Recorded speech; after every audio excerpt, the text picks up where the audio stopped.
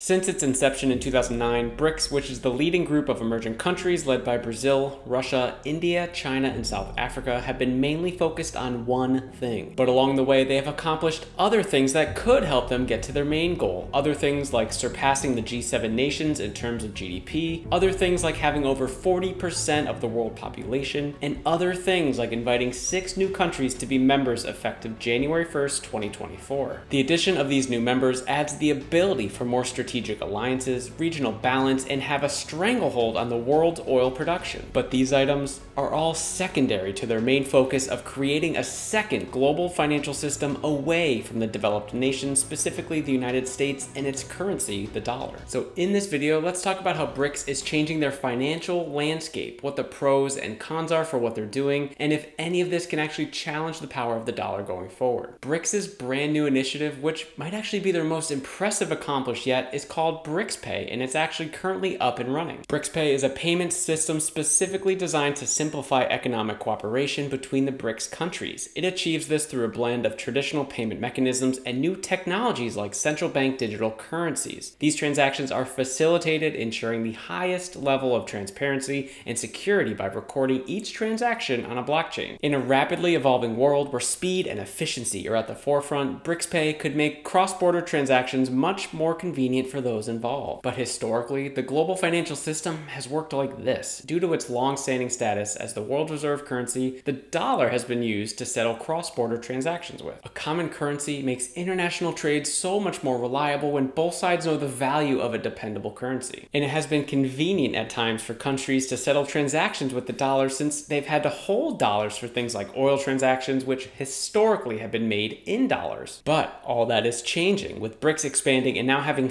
six of the top 10 oil producers in the world, combined with the idea of BRICS focusing on local currencies in favor of the dollar, this methodology could be changing. This is where BRICSPay comes in. Let's talk about two practical applications and benefits of using it. The first is international trade. Currently, most banking transactions run through SWIFT, which is how global banks communicate with one another. When you're sending money from one person to another, as long as the two banks have accounts with each other, they would authenticate the payment request. If the banks don't have a relationship, the SWIFT message would be sent through intermediary banks, which have a presence in, you guessed it, the United States, which is why these countries are looking for alternative. BRICSPay isn't necessarily going to replace SWIFT, but it does give the BRICS countries more autonomy from the Western system. The second second possible benefit to BRICSPay is it should simplify cross-border transactions. BRICSPay eliminates the need for intermediary currencies like the dollar, which will reduce transaction costs. And with the dollar being reduced, it paves the way for different currencies to be used for transactions like oil from Saudi Arabia and Iran, both now part of the BRICS bloc. So instead of, say, India buying Saudi Arabia's oil in dollars, the transaction can be made through BRICSPay, completely cutting the dollar out of the transaction. While in theory, BRICSPay should be able to help all countries in the BRICS network reach different corners of the world with more ease and for cheaper,